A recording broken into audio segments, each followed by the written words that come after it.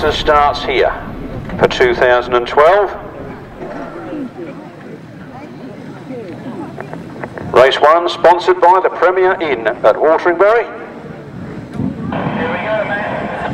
And the only addition and the alteration to the programme is number 4, Andrew Appleton is not riding and Stuart Mears in his place. They go, they leave the line, they're heading down the first straight, getting themselves sorted here.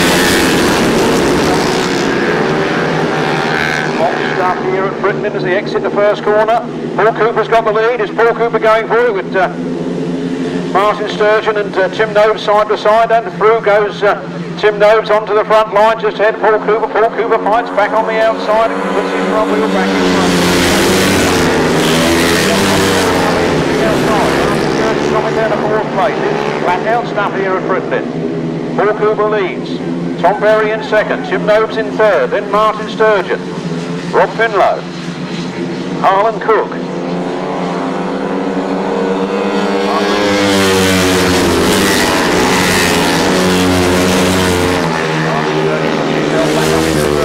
Paul Cooper stamps his authority on it at the last lap flag. It's Tom Perry, sorry, from Paul Cooper. There'll be ones and double ones muddled up.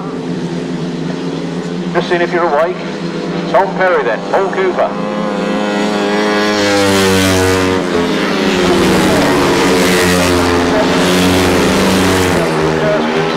Made available. For number one, Tom Perry.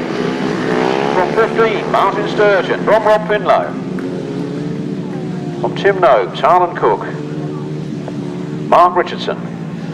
Stuart Mears and Paul Cooper. Limping home at the back. Looks like he's got to get off and push.